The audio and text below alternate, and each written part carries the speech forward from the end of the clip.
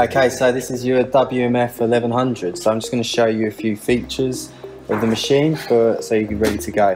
The first one I want to show you is just the cup warmer. Okay, so this is very useful for heating your glasses or your cold ceramic cups up. So the way we use that is we turn it upside down on the thing there and you use the little headphones symbol. So if you press that, you get steam shoot up inside your glass and that then heats your glass nice and warm. If it's not still not hot enough, what you can do is always just chuck it back on, press the symbol again, as soon as you're happy, you can just press it and it will stop. Okay, so you're nice and hot.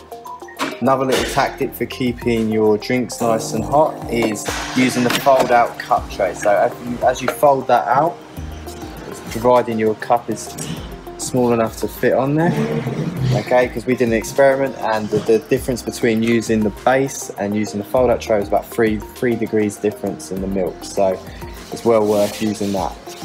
Okay, so then you scroll up the drinks menu till you find a drink that you want. Now we can take drinks away, we can add extra drinks on. So you can see you've got one there just titled The Boss or double shot cappuccino, etc. So I'm just going to go up, I'm going to pick a mocha.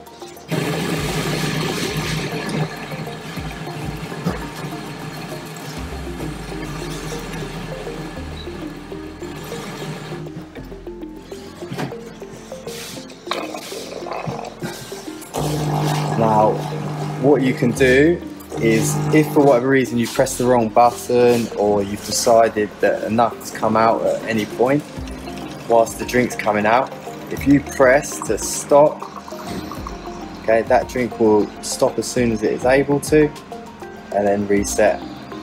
Okay, so you don't end up overfilling cups or wasting milk, etc. etc.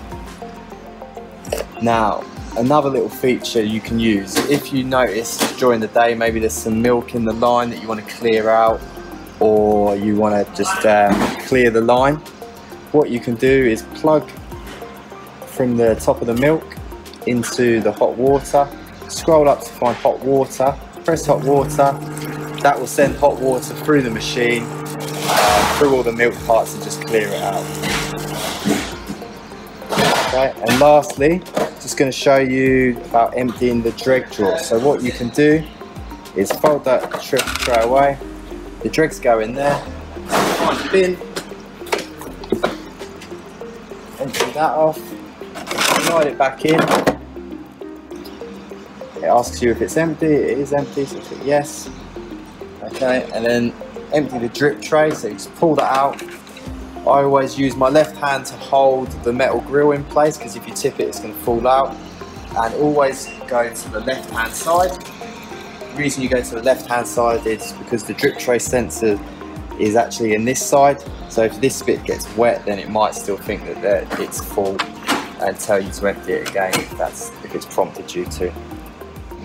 Last feature is obviously you have a steam wand here so if I just remove this plug from the hot water so if you scroll up so you get steam, this can actually be used as a manual steamer. So you can press on that and you get the steam coming out. So if you want to steam your own milk, as soon as you're happy that you've steamed enough, you just press it to stop. Now this can be disabled if you want to get it disabled so that people don't go using it or burning themselves in accident. That's up to you.